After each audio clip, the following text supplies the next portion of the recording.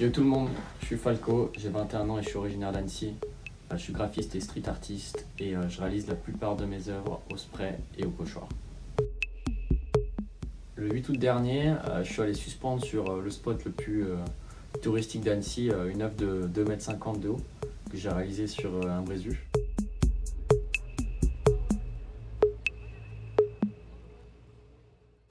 Le but c'était vraiment de taper fort avec quelque chose d'imposant et d'intrusif.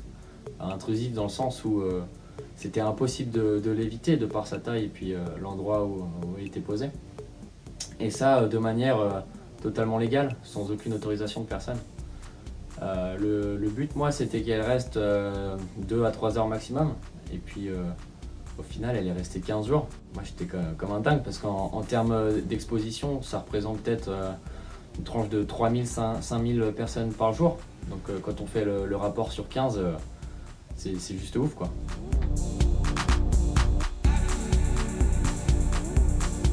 J'ai bien réfléchi euh, et cogité euh, pendant des semaines pour trouver un lien entre le message que je voulais faire passer, son lieu d'exposition et son rapport à l'actualité. Donc c'est pour ça que l'œuvre avait parfaitement sa place ici et que ailleurs elle aurait beaucoup moins fonctionné.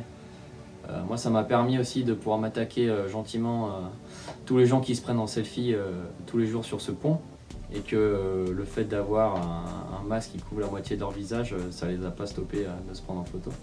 Donc c'est une forme d'engagement qui est plus ironique que, que trash et satirique, je pense, et qui de l'autre côté a permis de sensibiliser sur le port du masque qui était obligatoire dans cette zone.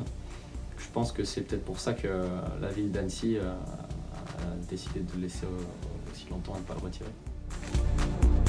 Une image pour moi c'est quelque chose qui transmet une information, peu importe euh, ses formes, ses codes ou, ses signes. Et euh, au milieu de euh, toutes celles qu'on se prend dans la tronche euh, tous les jours euh, via la pub, euh, la télé ou euh, les réseaux sociaux par exemple, euh, moi j'aime euh, les images qui me frappent, qui me questionnent et surtout euh, que je retiens. Euh, pas euh, des images euh, que je consomme inconsciemment et que euh, j'aurais zappé euh, dans la minute d'après.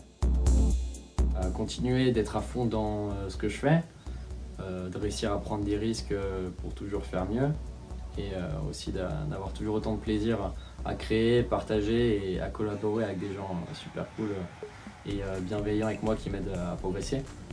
Euh, J'ai aussi des projets d'exposition qui, euh, j'espère, ne seront pas euh, compromis par euh, les événements euh, actuels.